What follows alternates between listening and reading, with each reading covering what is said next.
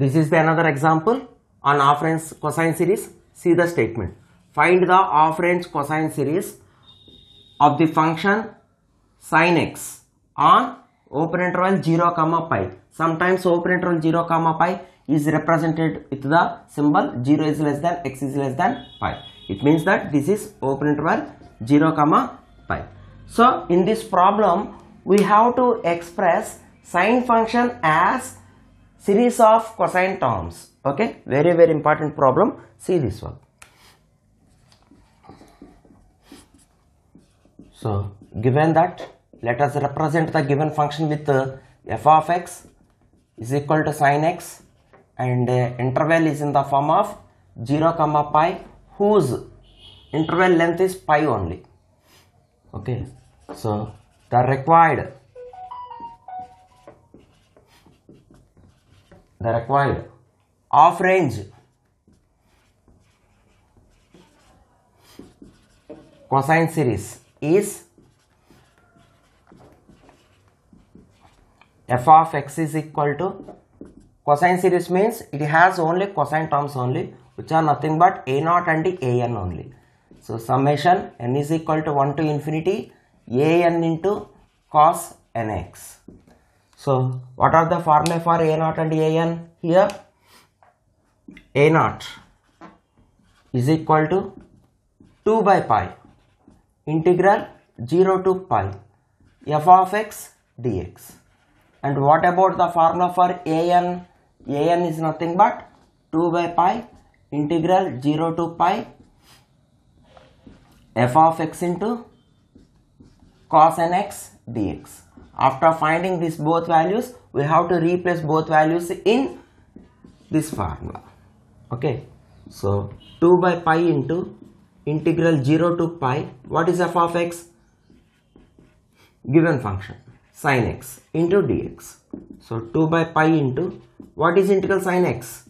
Minus cos x. Within the limits 0 to pi.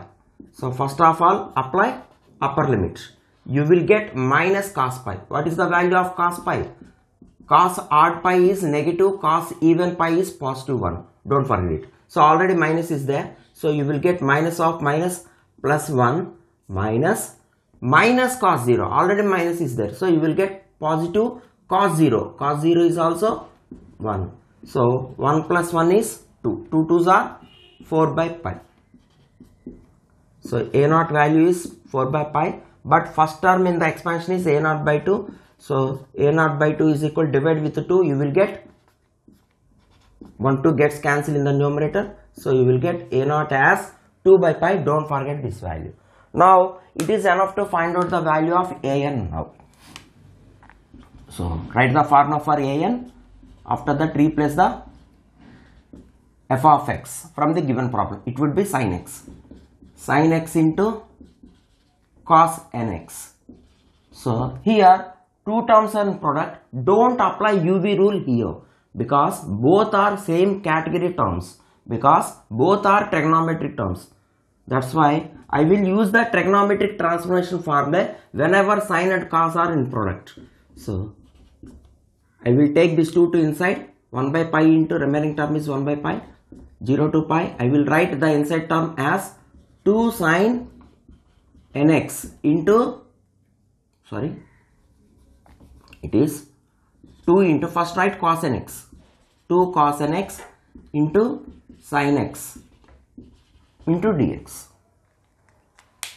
Okay. So it is in the form of 2 cos a sin b term.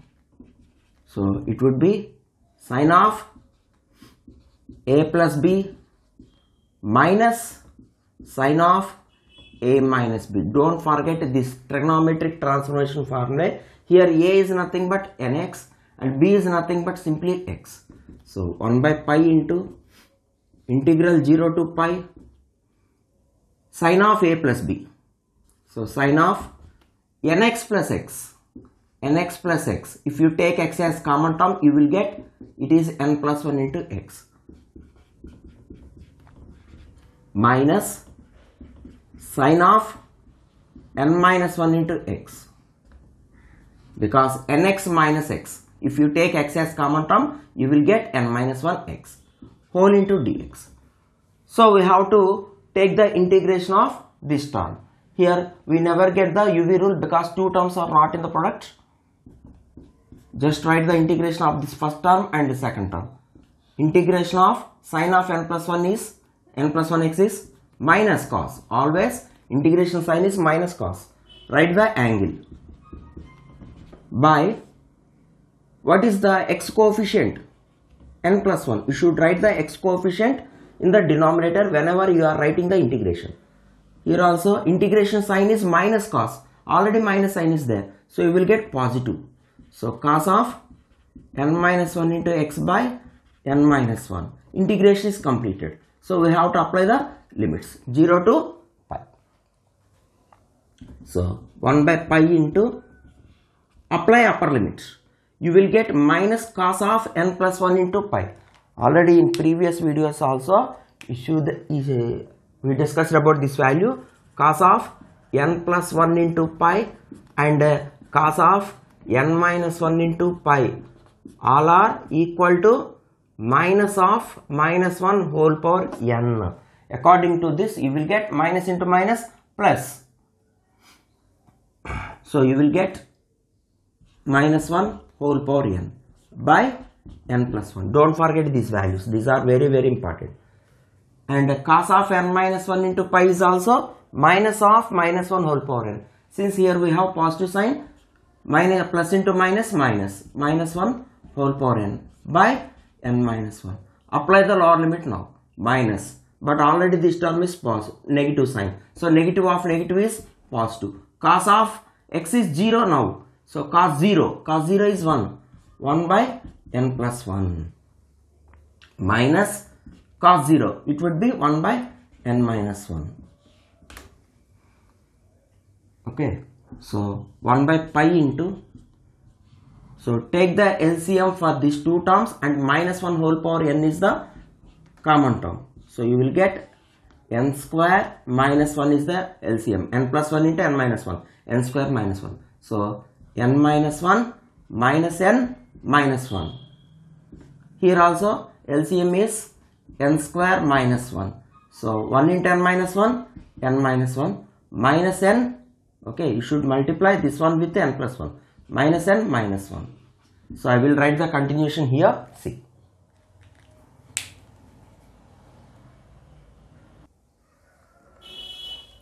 see here plus n minus n gets cancelled plus n minus n gets cancelled. So minus 1 minus 1 would be minus 2 so the next step becomes 1 by pi whole into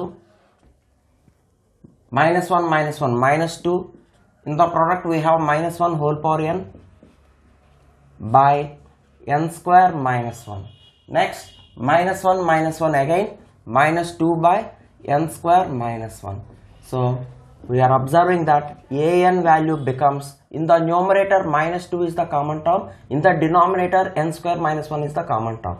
If you take minus 2 from the numerator and uh, from the denominator n square minus 1 as common terms you will get 1 into minus 2 minus 2 already pi is there into n square minus 1 okay into n square minus 1 so what is the remaining term in the first part? Just minus 1 whole power n. In the second term you are taking the entire term as a common term. So you will get plus 1 i got this. Okay. But we are observing that if n is equal to 1 if n is equal to 1 this term becomes something by 0 something by 0 is infinity. So this valid this value is valid only when n is not equal to 1 only.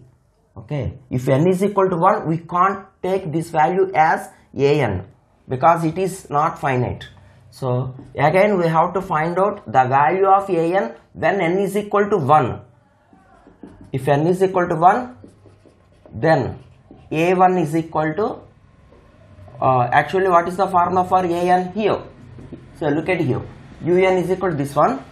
If if you replace n is equal to 1 in this formula you will get a1 which is 2 by pi integral 0 to pi f of x. F of x is nothing but sine x. And uh, remaining term is cos nx but n is 1 here so you will get simply cos x. We are replacing n is equal to 1 in this formula so 1 by pi into take this 2 to inside integral 0 to pi 2 sin x cos x. It would be sin 2x into dx. So 1 by pi into what is integral sin 2x minus cos 2x by 2 within the limits 0 to pi. 1 by you can you can take this 2 to outside 2 pi. Minus cos 2 pi. Cos 2 pi is 1 so minus 1 minus of minus plus cos 0 is 1 so 1 plus 1 gets cancelled. You will get 0 so a1 is equal to 0 okay? So now we have to replace these all values in the half range cosine series formula which is equation number 1 see here. Equation number 1 implies f of x is nothing but a naught by 2 plus next term can be written as apply n is equal to 1 you will get first term. So you will get a1 cos x.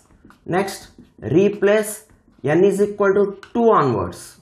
Because already we put n is equal to 1 remaining are all same. An into cos nx substitute all values of a naught by 2 and a1 a1 is 0 and an is this one.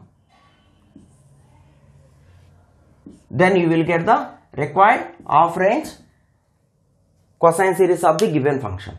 Okay? In the next video i will give some more problems. Thank you very much